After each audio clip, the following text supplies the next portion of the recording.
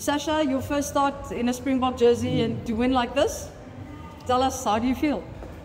Feel amazing. I'm so happy the guys could pull it together. Um, there was obviously a bit of talk around the curse of Suncorp, but to have a good training week and then execute when it comes to the game and, and put points on a, a, quality outfit was our goal. So I'm, I'm glad we achieved that this week, and next week we go again.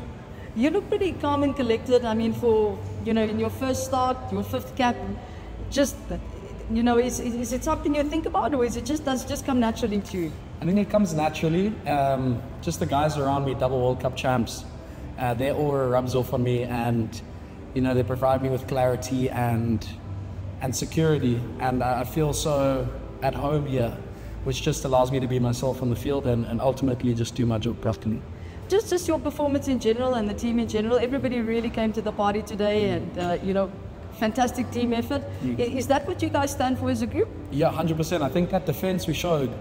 Uh, after we had sort of won the game 30 points up, that, that grit and determination and relentless kind of getting off the line to defend our flag um, is everything the Springboks stand for. So to pull that off um, away from home and defend our flag, the boys are happy. And then just such for you personally, um, you know, the, this year you must stand out as one of the most amazing years for you. Just how, how does this rank in your in your highlights this year? Yeah, it's my crown year, so I definitely now believe that crown years are special. Um, this has been the most awesome year ever, and to rub shoulders uh, with my heroes and sort of step up and see them now as, as my teammates instead of my heroes. Uh, that's a dream come true, and I, I just hope that this year is just a building block for, for the future.